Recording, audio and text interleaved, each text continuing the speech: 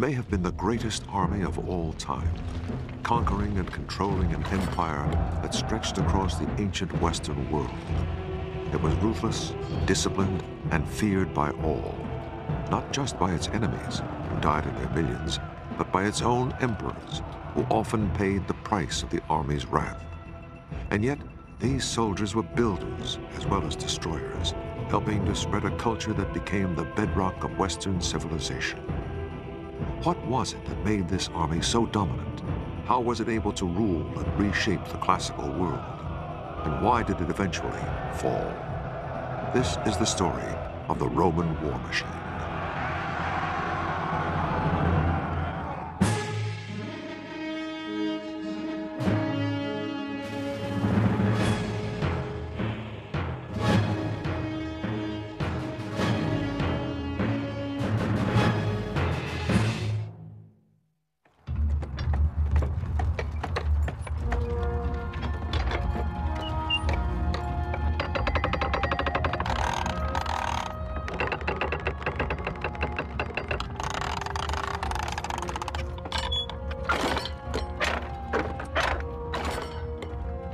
For any ancient people who refused Roman demands to surrender their town or city, weapons like these may have been among the last sights they witnessed on Earth.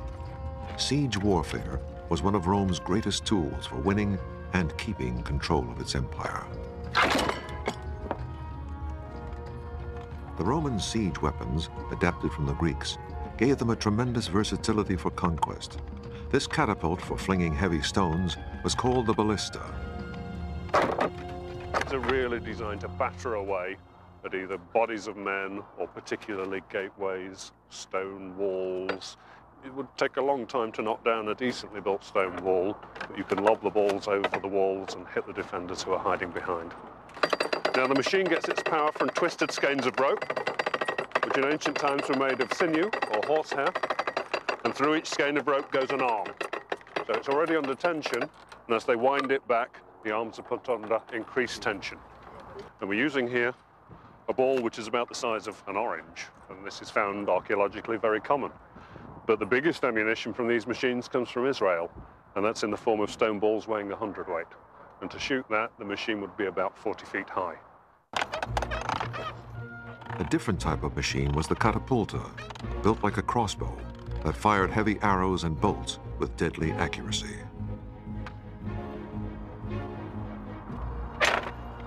Designed to shoot arrows, but an arrow far bigger than you could shoot with a handheld bow. And it's an arrow like this. It's heavy, it's got a large square-shaped tip, which would penetrate armor, penetrate shields, penetrate men. We know that when battering rams and siege towers we used machines like this, were positioned in them to give that covering fire as the machine moved towards the walls. And in field battles as well, these were very useful. The Romans had other siege weapons too. They used high timber towers on wheels, manned by archers to pick off enemy defenders. Other movable structures, like tin sheds, were used to protect soldiers operating heavy battering rams. When attacking fortified towns, Roman soldiers often used the tortoise formation, locking their shields to protect themselves against the hail of enemy fire that would rain down from the walls. With all these weapons and tactics, there was almost no town or city in the ancient world capable of resisting the Romans, and those who tried were inviting slaughter and destruction. Perhaps the two most famous Roman sieges both happened in what is now Israel. Judea, as it was known then, was conquered around the time of Jesus' birth, but the native Jews bitterly resented the Romans, whom they regarded as heathen. And when the Roman governor demanded money from the Jewish temple, open revolt broke out in 66 AD. After three years of fighting, the Romans finally surrounded the main Jewish stronghold of Jerusalem. It took the Romans another four months to break through the three city walls protecting the temple. Catapults hurled huge stones at the defenders. These large, dazzling white limestone blocks hurled in by the Romans to the city. And the besiegers had their own slang. When they saw one of these white stones coming, they would shout, Here comes a baby! And they'd all lie down in the hope that it would go across them and land safely. The Romans, becoming aware of this, actually blackened the white stones so that they wouldn't be so visible. Once the Romans broke through, they ran amok, killing thousands of citizens and selling the rest into slavery. Jewish holy relics were carried off to Rome to be paraded in triumph, and the temple was destroyed. If uh, cities and communities in conquered areas quickly surrendered and came to terms with the Romans, they were generally pretty well treated and in fact, their ruling classes were often um, given the Roman citizenship, sometimes very, very quickly, and could become quickly integrated into the, the Roman world. But people who continued to resist could expect very little mercy from uh, the Roman state or the Roman army, and there were some cases where Roman behavior amounted virtually to genocide. The Romans later allowed the Jews to return to the temple site to mourn over the one remaining wall, hence the term Wailing Wall, and a tradition that continues today. Although the Jewish rebel cause was now hopeless, one band of zealots continued to hold out. They took over a fortress perched on a plateau, rising 1,300 feet above the Dead Sea Plain, south of Jerusalem. The fortress, called Masada, had been built a hundred years before by King Herod in case of attack by the Egyptians. It seemed unassailable, and the 960 zealots dared the Romans to try. Masada is symbolic. It's important for the Romans because the elimination of this last resistance stands as a symbol that nothing will stand in front of the Roman Empire. There was no prospect of starving the place out anytime soon because Herod and his uh, successors had put huge stores of food. There was plenty of water because Herod had constructed huge uh, rain-fed cisterns inside the mountain that were, that were fed during the winter rains. The only way to take Masada was by direct assault. The 10th Roman Legion, which had led the assault on Jerusalem, arrived at the foot of Masada in late 72 AD. The Roman force, with its auxiliaries and forced Jewish labor, totaled about 10,000. It began by building a wall, whose remains are still visible that was six feet high and three miles long around the entire plateau to let the rebels know there was no chance of escape. Unlike the rebels who were well housed and supplied, the Romans were camped in a merciless desert, scorching by day and freezing at night. Supplies for their camps had to be brought in from the Jerusalem area, 16 tons of food a day and 5,000 gallons of water, about 400 donkey loads each day. But then Logistics were among the Romans' greatest skills. It's incredibly important, as was seen in the Gulf War, where millions of tons of equipment had to be moved in just so that the army could do its job. And the Romans were acutely aware of this, and their logistical organisation was, was really very good for the period, considering their limited technology. And of course, that is one of the main reasons they built all those roads, was to keep the army capable of moving and to keep it fed and supplied. Without these logistical skills, the Roman Empire couldn't have been maintained. Now the question for the 10th Legion was, how could it assault the summit? From nearly every angle, the 1,300-foot cliffs were just too steep. But there was one possibility on the western side, where the height was only 250 feet, with a rocky outcrop that gave the chance of building a ramp for the siege equipment. The Romans and their laborers began building the ramp, protected by movable sheds, and were given covering fire by archers and catapults. The Jewish defenders probably used slingshots in self-defense. This pile of slinging stones has been found on the site. Eventually, the Romans came to within 50 yards of the summit fortress. Just how long it took to build the ramp has been a subject of debate. The popular view is that the siege of Masada lasted for two or three years. I don't think there's any reason to uh, think that the siege lasted more than four to eight weeks. Uh, most Roman sieges uh, were fairly short. Siege of Jerusalem, one of the most hardest fought of ancient times, took four months. Once the ramp was finished, the Romans used their battering ram to break through the outer wall. But that wasn't enough, because the defenders had built a second wall behind it, made of wood and earth that the battering ram could not budge. The Romans responded by setting fire to the Jewish wall. And this seemed to work initially, but at one moment the fire blew back and looked like it might burn all the Roman siege engines. But as Flavius Josephus, who recorded this, said, God was on the Roman side and the fire blew in and burnt down the Jewish wall. The Romans waited for the next morning to make their assault, and inside, the rebels knew that their capture would mean a terrible fate. In most cases, uh, rebels uh, were enslaved, but they also might have been killed, uh, even uh, crucified, or uh, sent to fight in gladiatorial games. So the rebels decided their own fate. They drew lots to determine who would kill the women and children, and then each other. When the Romans burst in at daybreak, they were met only with silence. Then they were approached by two women and five children who'd hidden and escaped the mass suicide, and they told the Romans what had happened. It's to the Romans' credit that they were amazed that this had happened, that they felt even in their victory there was an element of defeat. Masada marked the end of the Jewish revolt, but it flared again 60 years later when the Romans decided to build a settlement on the ruins of the Jewish temple in Jerusalem. Jewish rebels fought the legions for four years, leaving many thousands of Jews dead.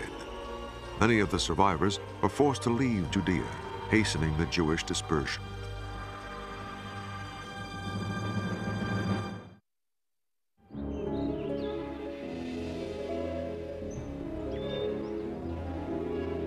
By the year 100 AD, the Roman Empire had been expanding for some four centuries, and under the Emperor Trajan, himself a general, the expansion continued. He annexed Dacia in modern Romania, plus Arabia and Armenia, and drove deep into present-day Iraq, reaching the Persian Gulf in 116 AD. But these new conquests stretched the Roman army to capacity. When Trajan died in 117 AD, he left another general, Hadrian, as his successor. But Hadrian quickly reversed the expansion policy, pulling out of Iraq and fixing the empire's borders. He had seen the human cost of that and how difficult it was for the Romans to expand any further into lands which were apparently more capable of resisting them.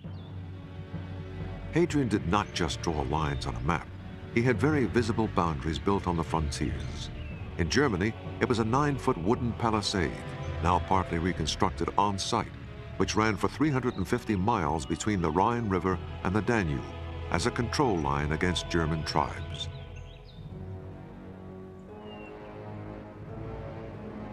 Even more emphatically, he ordered the building of Hadrian's Wall, running about 80 miles from sea to sea across northern England. It was 15 feet high and dotted with forts that together housed about 10,000 soldiers.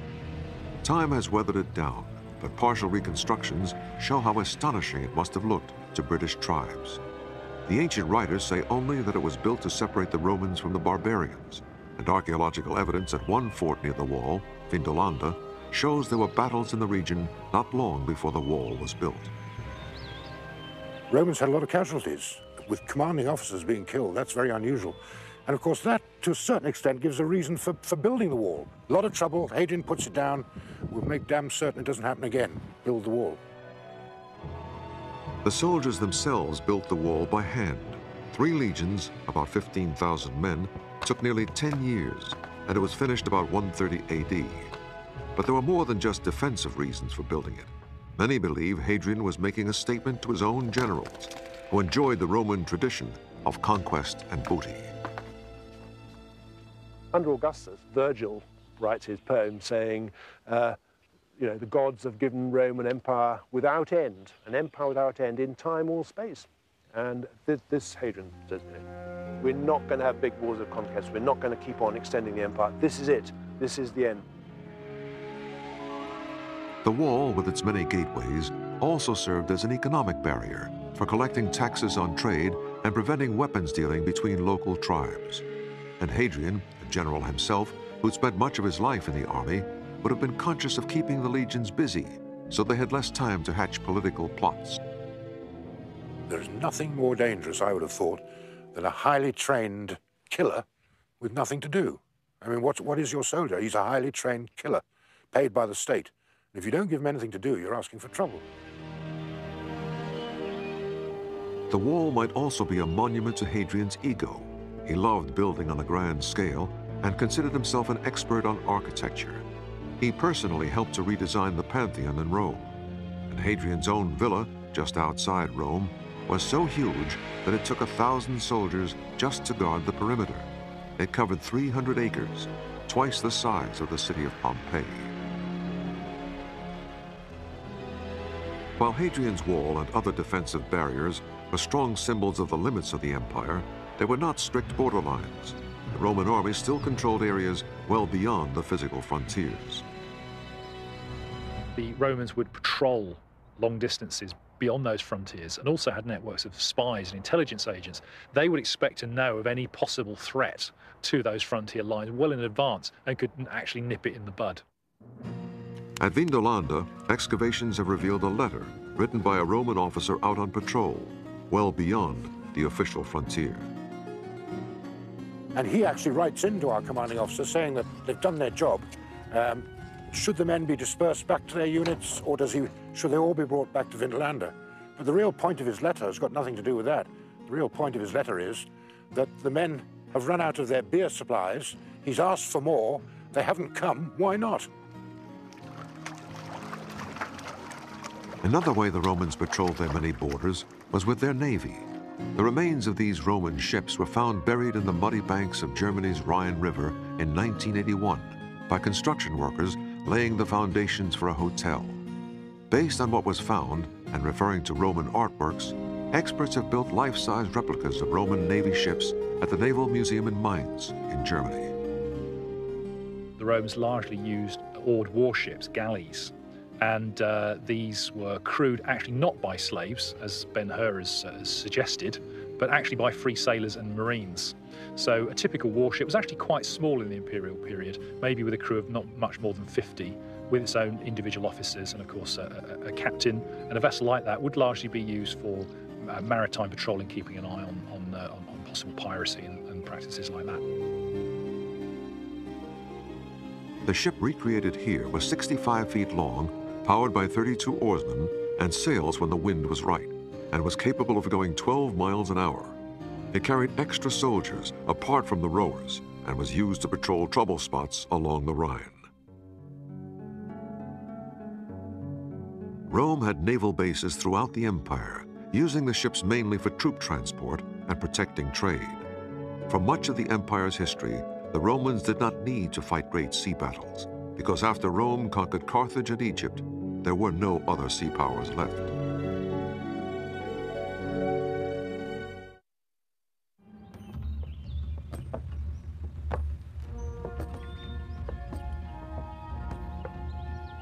When the Emperor Hadrian decided to fix the borders of the Roman Empire, he helped change the nature of the Roman army itself. Instead of making new conquests, many soldiers now had fixed addresses on the frontiers as defenders rather than attackers. The forts reflect the change with a gradual shift from timber forts to stone forts. This is what a stone fort looked like in its day. This is the fort at Saalburg in Germany, rebuilt on the foundations of the original. Roman forts were usually sited at strategic points, like a mountain pass or a river crossing. They were rectangular, enclosing an area of up to 50 acres, and had defensive towers every 50 to 60 yards to launch missiles against attackers. There were also deep ditches around them to repel enemy raids.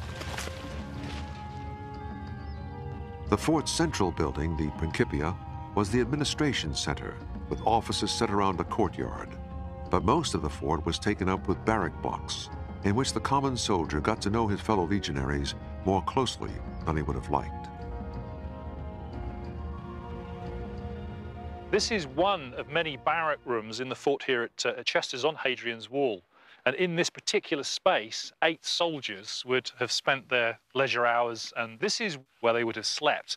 This whole area here would have been divided off by some kind of partition around about here. The room out at the front was probably where they kept all their equipment. So it was in an area like this that all of these soldiers actually had to eat and sleep.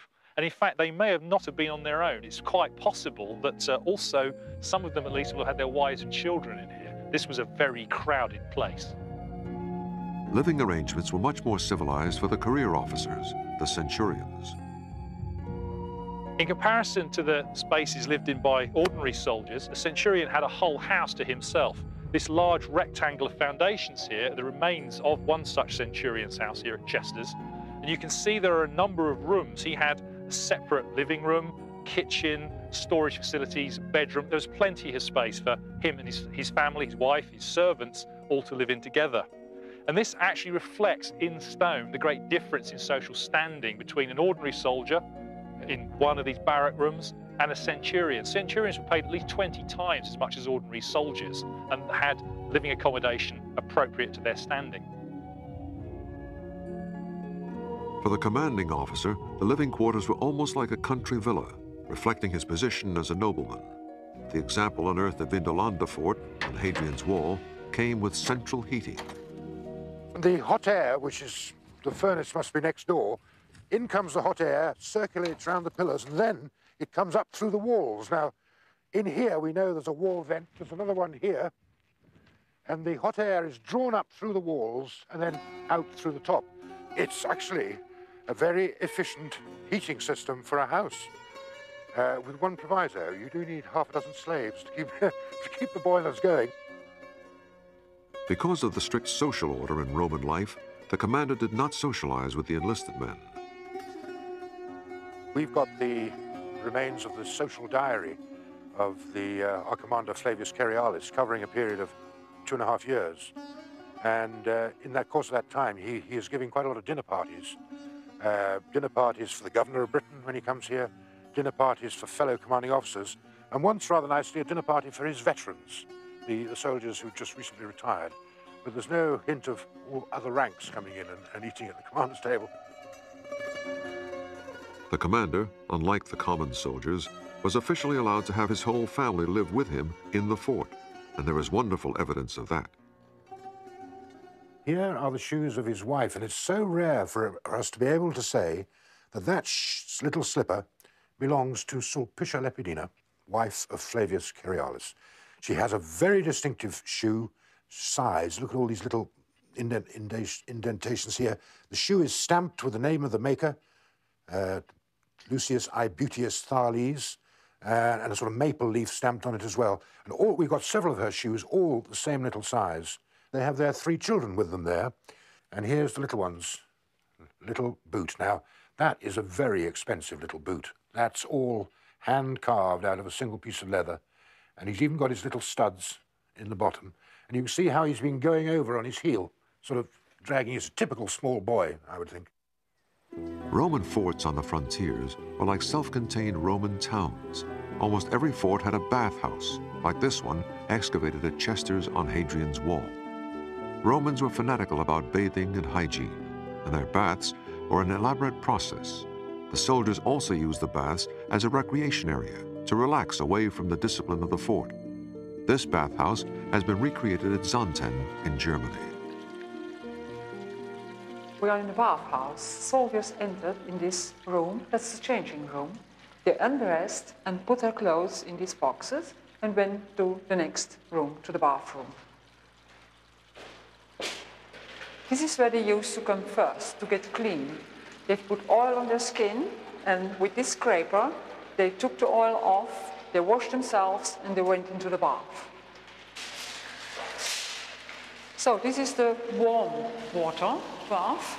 It was kept at the 100 uh, degrees Fahrenheit by the furnace, which is next door. So people stayed in this warm water. After finishing, they went to the next bath, which is the cold bath. This is the cold bath. And Romans believed that it was good to take a cold bath to improve the blood circulation. So after finishing uh, their bath in the cold water, they went to the club room.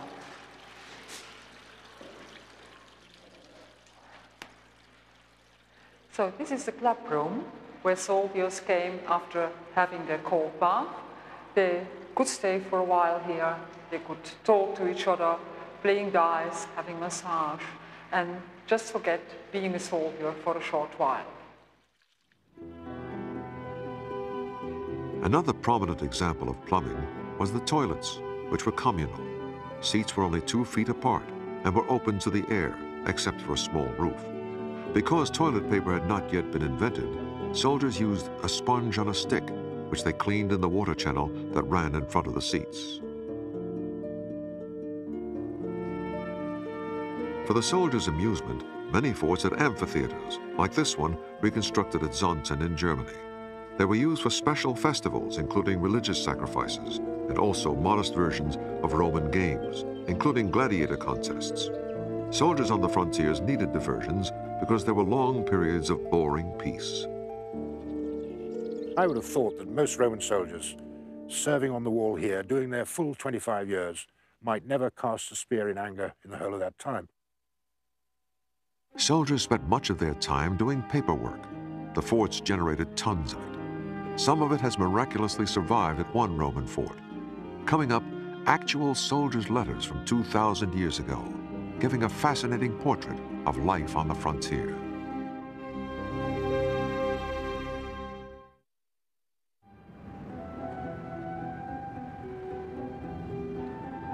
At a Roman fort in the north of England, archaeologists are discovering a treasure trove of personal items left by the troops, giving us an amazingly intimate portrait of the Roman soldier's life.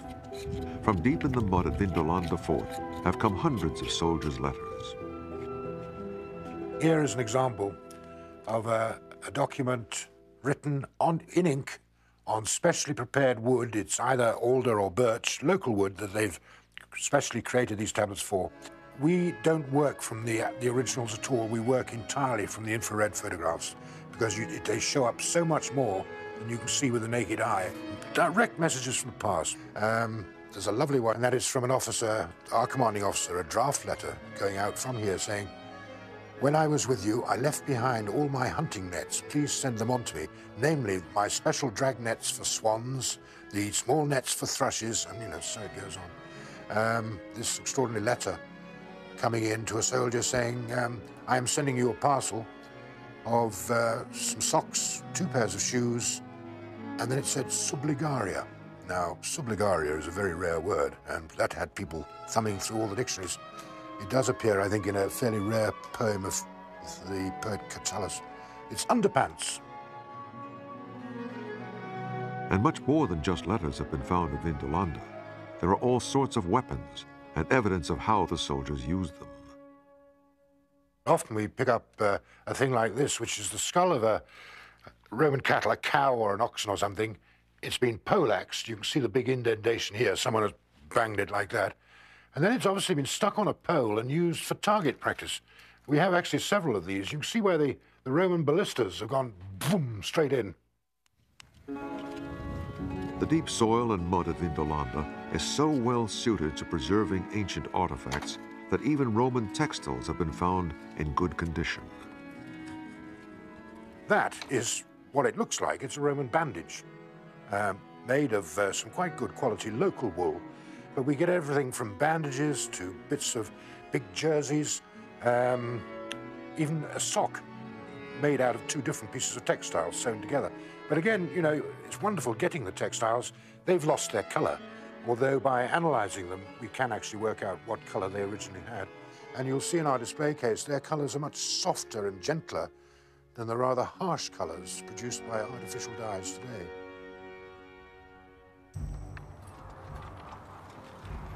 Being a Roman soldier fighting against barbarians may have seemed a risky business, but in fact, Roman soldiers were more likely to reach the age of 40 than the average Roman male citizen. Soldiers were well housed and well trained and had a better diet than many city dwellers. They were given daily rations of corn, wine, vinegar, and salt, plus vegetables, poultry, fish, and cheese whenever they were available. It's interesting that bad food, which is one of the constant complaints of soldiers through the ages, uh, is not mentioned uh, in any of our sources as a complaint of Roman soldiers. Another reason for higher life expectancy was the medical attention the army received. And it was so advanced that soldiers expected to live through their service, and had, it's one of the few ages in history when men had a higher life expectancy than women because of the, the medical, the battlefield medic. For the army doctor, the most common job was to fix battle wounds. This is a, an arrow, a mail piercing arrow, and if it's gone into the arm, it's got to come out, obviously. You can't just pull it out. The first thing you've got to do is use a scalpel to make an incision either side of the arrow to open it up.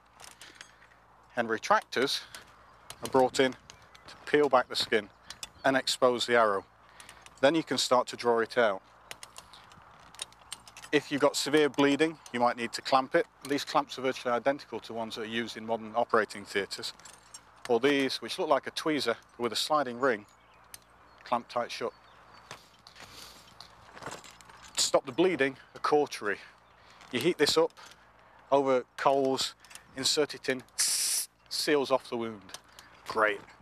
Finally, you want to close the wound over. Now, you could stitch it, and we got the needles made of bronze and bone, but the items that they stitched it with, sinew or, or flax, was a contaminant. It, it festered in, in, infection. So they came up with wound staples. These are made out of silver, which is hypoallergenic. Insert it into one side of the room, wound, pull it over and stick it in, and that holds it tight. And the little lines that are on it, the little like decoration, they're weak points when it comes to taking it out. You snip those and it comes out easy. And they're using these in, at the end of the 20th century. They're finding that staples heal faster than stitches. So we're moving back to ideas that they had 2,000 years ago. Roman medics were also herbalists, prescribing rosemary as an antiseptic and caraway as a poultice for bruises. Another thing about caraway is um, the essential oil of it's a stimulant, and it's supposedly good for flatulence. And when you've got eight men sharing a small leather tent, that's uh, probably a good thing. Like most armies, the Romans believed that the gods were on their side, and so the soldiers were particularly careful not to offend those gods. Before a battle, animals would be sacrificed and omens would be studied. For example, the flight of birds or cloud formations to determine if the gods wanted a Roman victory. The average soldier prayed to as many gods as he could manage. The traditional gods such as Jupiter, Apollo, Mars, and Hercules, plus any local gods in the country where he was campaigning. They do seem to have had an adopt a god scheme um, wherever they went. They were always terribly worried that somebody else had more important gods than them and they were very concerned not to offend any deities. And the way that the Romans reacted to, to gods is they, they don't seem to have been too concerned about what happened in the afterlife. Their concern was to make sure they were as comfortable as possible whilst they were on Earth, and the way you ensured that was to keep the gods happy. One of the most popular gods that the Roman soldiers adopted was Mithras from Persia, who was usually shown slaying the mystic bull, whose blood is the source of life. Many forts had temples to Mithras, like this one, reconstructed at Saalburg in Germany. It would have been very dark. Each Mithraeum was supposed to be as dark as the original cave where Mithras killed the bull. So it would have been dark and smoky, and um, pine cones um, burning as incense on one of the altars. They all seem to have had this relief showing Mithras killing the primeval bull. Now this, according to Mithraic worshippers, was the act of creation. And from this act of killing the bull, all life sprang. And you can see that the wheat is growing from his tail there.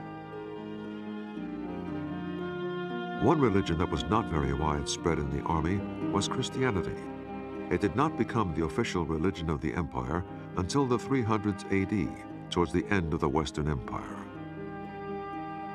It would have been quite difficult, I think, to have been a Christian in the Roman army before it became the official religion because the Roman army expected you to worship certain set deities, such as the birthday of the emperor or, or, the, or Jupiter on certain days. And if you were a Christian and believed there's only one God, then you would have a fundamental problem with that. The soldiers carried other objects of worship with them at all times. One was the legionary eagle, often made of gold. It was housed in its own chapel and anointed with special oil on religious days.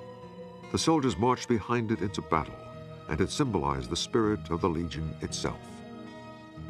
To lose your standard to the enemy was a terrible disgrace, and uh, Roman soldiers literally gave their lives to save their flag and, and their symbols. There was also the cult of the emperor, and each legion carried his image. It was important for the troops to be able to recognize their emperor. He was with them in spirit, if not in person, though sometimes he would be there in person, as when the Emperor Hadrian toured the entire empire. Emperor worship was also an important part of Roman religious life. As well as um, worshipping their gods, the soldiers would worship their emperor. One way the emperors made sure the soldiers recognized them was by putting their faces on the coins the soldiers were paid with. Next, we'll look at the Roman soldier's pay, how he spent it, and how it helped to change the map of Europe.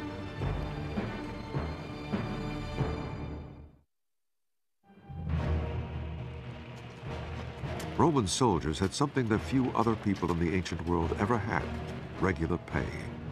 Legionaries were paid the equivalent of a middle-class salary plus annual bonuses from the emperors to try to ensure loyalty. To emphasize that point, the emperors put their own faces on the coins, like these found at Vindolanda Fort in northern England. There is a nice sestertius of the Emperor Trajan. Fairly normal coin on a find uh, on many sites. It's, it's all green and mouldy. That is how Roman coins normally come out. But on a site like this, where we've got these rather special levels buried deep down, that is the same issue of coin coming from the early levels. I mean, you know, you'd think that was gold, but it's not. It's a nice, shiny bronze coin in excellent condition, no corrosion, nothing. The soldiers' savings were kept in special strong rooms at the forts, like this rare surviving example at Chesters Fort on Hadrian's Wall. It was an ancient mini version of Fort Knox. This was probably one of the safest places for, for money to be anywhere in the Roman province of Britain because you've got 500 soldiers guarding it and they're guarding a lot of their own money because Roman soldiers had uh, about a third of their pay kept back as a compulsory savings scheme. As well as compulsory savings, soldiers had deductions taken from their pay for food, clothes, weapons, and the burial club to pay for their tombstones. There were other deductions too fines for, for loss of equipment, um, buying that extra pepper to liven up the food, or indeed, uh, if they're not feeling very well, buying some opium. I mean, we get opium on the tablets. Quartermaster is issuing it. We would like to think for medical purposes, and you never know.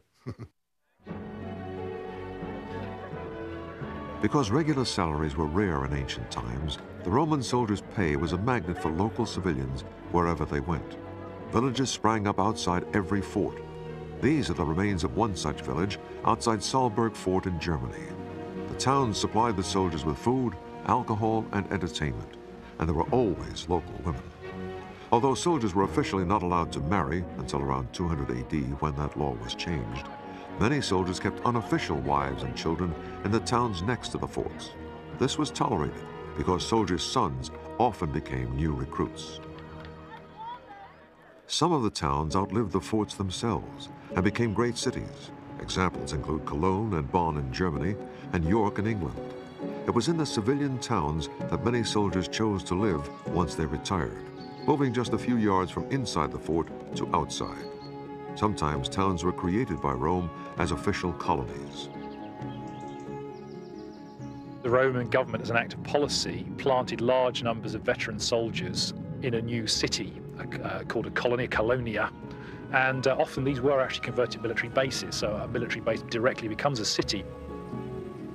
Colonies were like little Romes, planted throughout the empire, a way of securing and Romanizing conquered territory while giving veterans a place to live. One example was Fréjus, now a modern city on the French Riviera, which served a double purpose, as a naval base and a colony founded by Augustus for veterans and civilians. It was the birthplace of the great Roman general Agricola, who helped conquer Britain. Fréjus was a colony for the 8th Legion, and evidence of that has been found in recent excavations. This uh, cheekpiece of an iron helmet of the early 1st century AD. It is the protection of the right cheek of a helmet. And it's a very unusual find, especially in France, because uh, on Roman camps, uh, the soldiers were very careful with their weapons. They didn't lose them. Fréjus had all the trappings of a Roman town, including an amphitheater holding 12,000 spectators, which is still used today for bullfights. It also had an aqueduct, probably built by the soldiers. These pillars supported a water channel that gradually sloped down to Fréjus from a mountain source 25 miles away. Roman engineers calculated the precise slope needed for the aqueduct, and then soldiers were brought in to do the heavy work of building. To build the water channel, the Romans used a technique builders still use today. They built a wooden mold and filled it with concrete. They just had to put some planks here inside the, the channel, and then they had a mold, internal mold for it. And then they could pour the concrete uh, between the two parts, just as we do now with the concrete. You know, the Romans used the, the concrete in the same way as we do. The building skills of the army helped to change the face of the empire. Soldiers built not only military structures like forts and Hadrian's Wall, but also had a hand in some of the many beautiful and enduring civilian works right across Europe and the Middle East that helped put Rome's particular stamp on its hard-won territories. For the Romans, however, spreading their civilization carried unexpected dangers. It made the empire an inviting target for those living outside the borders and would lead to invasion by envious barbarians that would eventually bring the empire to its knees.